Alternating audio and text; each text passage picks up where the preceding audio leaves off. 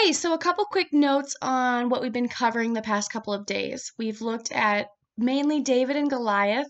Um, super a famous story and b important story just kind of learning the background of david and how he becomes this great king for the israelites um, one thing that is extremely noted about david is his faith in god um, we even see that before he does the whole slingshot thing he works for saul um, as as like his his singer like that calms him down right? He has his lyre and he plays for him. Um, but a lot of these things he is saying are his psalms aka like the book psalms um, which are these praises to god.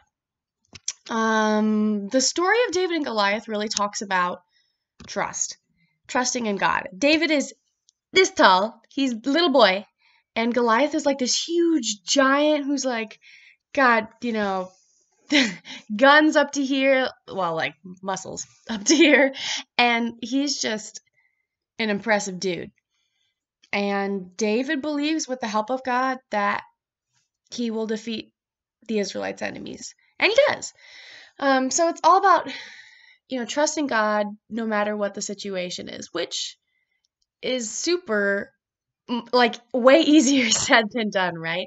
I'm sure we've all been in situations where like you're like, oh, I want to trust God, but like, oh my gosh, like this is so scary or nerve wracking, and and I don't know. I mean, it's I just feel like worrying because I don't know how this is going to turn out good.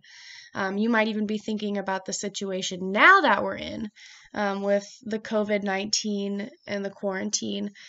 Um, maybe someone you know has COVID 19. Um, maybe just hearing all the statistics about it and what's going on is making you nervous. Um, so I feel like this is like a perfect time to kind of be reminding ourselves that, you know, God's in control of everything. He has everything in his hands. Um, and he will protect us. He will have his hands over us and he will do what is the best for us. Um, so we need to trust in him and know that his way is the best way. Again, super, like, way easier said than done. Um, I struggle with that all the time. I don't think I know one Christian that doesn't always, doesn't ever like completely trust God. We always have moments where we struggle with that. We worry, we fear things. Um, but that's because we're human, we're sinful. Um, as Christians, our our walk, our how we strive to be more like Christ is is striving to completely trust God. Um, just know that God's there for you. He listens to you. Um, he's going to help you get through anything. I, I, have this weird saying, and it's it's it's a little rough, but um, the idea is that like life with God may suck, right? Because as a Christian, you get persecuted. Um, you don't necessarily fit in. You're different from the world.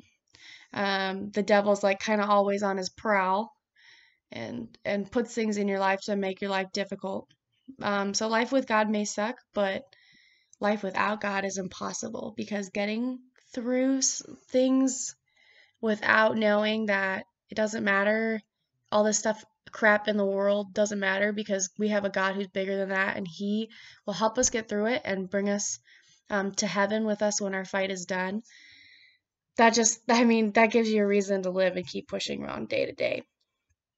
So I want you to just keep that in mind um, as you go through this week and maybe this tough time for you.